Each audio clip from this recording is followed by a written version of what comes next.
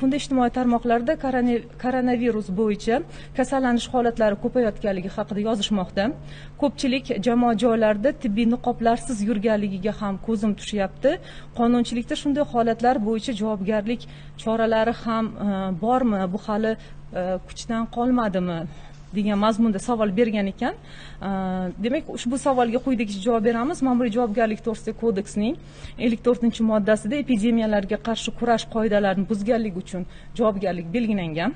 Ushbu moddaga ko'ra karantinli va inson uchun xavfli bo'lgan boshqa e, yuqumli kasalliklar paydo bo'lishi hamda tarqalishi sharoitida vakolatli organning maxsus talablariga zid ravishda jamoat joylarida niqobsiz bo'lish bazaviy hisoblash miqdorining besh baravarigacha miqdorda jarima solishga sabab bo'ladi. Fuqarolarimizdan jamoat joylarida tibbiy niqoblarni e, bo'lishini biz maslahat bergan bo'lardik. Besh yildan beri aholining ishonchini oqlab kelayotgan sof savdoru internet do'koni sizning xizmatingizda. Hijoma payg'ambarimizdan qolgan sunnat amallardan biridir. Hijoma qildirmoqchi bo'lganlar sof savdoru internet do'koni bilan bog'laning. Barcha kasalliklarga davo bo'lgan al hadaya qora seda namoyi mahsulotini eng arzon narxlarda xarid qilishingiz mumkin. Protein geyner aminokislotalar kabi mahsulotlarni ham ushbu do'kondan topishingiz mumkin. Oq dog'lar psoriaz kasalliklari sizni bezovta qilyaptimi? Sochingiz va soqolingizni o'stirmoqchimisiz? Misiz bir oyda 10 kilogrammgacha ozmoqchi yoki semirmoqchimisiz? Unda siz sof savdoru internet do'koniga bog'laning. Kuni kecha sizlar bilan toshkent shahridagi koronavirus 19 infeksiyasi tarqalishi va uni oldini olishga yo'naltirilgan chora tadbirlar ishlab chiqilganligini ushbu ishlab chiqilgan chora tadbirlar toshkent shahar hokimligi qoshidagi maxsus shtabning asosiy e, yo'nalishlarini belgilab berganligi to'g'risida aytib o'tgan edik. Shu bilan birgalikda bugungi kunda koronavirus pandemiyasi davrida toshkent shahridagi e, covid o'n to'qqiz bo'yicha olib borilayotgan ishlarni muvofiqlashtirish qo'yilgan vazifalarni aniq belgilab berish maqsadida bugun xalq deputatlari toshkent shahar kengashining o'ttiz oltinchi sessiyasi qaror qabul qildi. Ushbu qaror koronavirus infeksiyasi bilan kasallanish bo'yicha toshkent shahridagi epidemik vaziyat ushbu kasallikni keng tarqalishini oldini olish va amalga oshiriladigan dolzarb vazifalar to'g'risidaligini aytib o'tishimiz kerak. Asosiy qabul qilingan masalalar albatta covid o'n to'qqizni tarqalishini oldini olish profilaktik tadbirlarni kuchaytirish ommaviy tadbirlar o'tkazishda sanitariya ogohlikni inobatga olgan holda o'tkazishga qaratilgan bo'lib ruxsat bersanglar qisqacha ushbu yo'nalishlar bo'yicha qabul qilingan qarorni mazmun mohiyatida to'xtalib o'tsak. Albatta bu toshkent shahrida koronavirus infeksiyasini tarqalishi hamda e, amaldagi epidemiologik vaziyat yuzasidan ommaviy axborot vositalarida televideniya bosma elektron nashrlar ijtimoiy tarmoqlarda xalqimiz uchun muntazam ravishda axborot va tegishli tahliliy ma'lumotlar berilish albatta bu o'ta muhim masalaga inobatga olgan holatda bu asosiy vazifalardan biri deb belgilandi.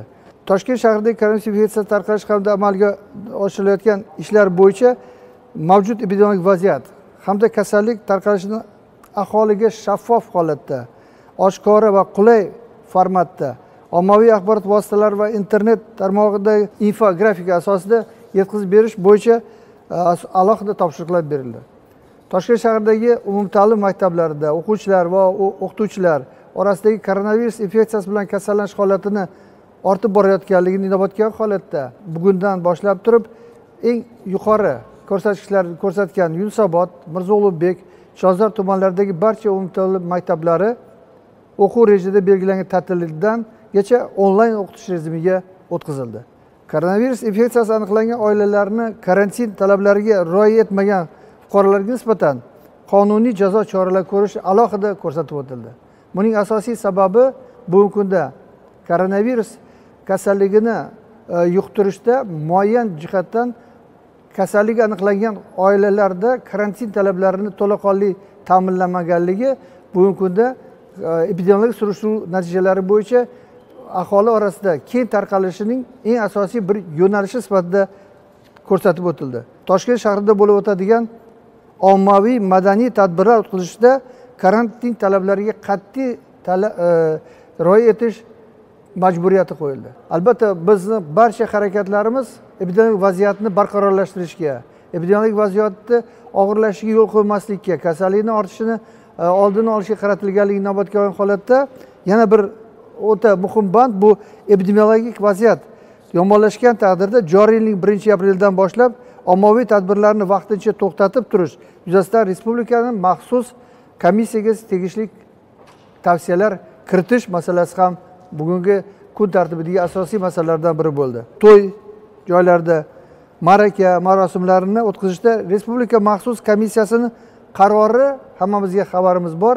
Bu qatnashuvchilarni sonini belgilab berilgan va bundan ortiq bo'lishi epidemiologik vaziyatni og'irlashiga olib kelishi inobatga olgan holatda ushbu tartib qoidalarini karantin talablarini sanitariya gigiyena qoidalarini qat'iy rioya etilishini ta'minlash bo'yicha va unga mas'ul tashkilotlarni nazoratini kuchaytirish bo'yicha alohida topshiriqlar belgilab berildi. Toshkent shahridagi barcha jamoat transportlarida karantin talablariga rioya etilishi qat'iy nazoratga olindi. Barcha turdagi jamoat transportlarida yo'lovchilarga karantin talablarini eslatib turuvchi ovozli xabarlar va transport audio tizimi orqali muntazam yetkazib borish ta'minlandi.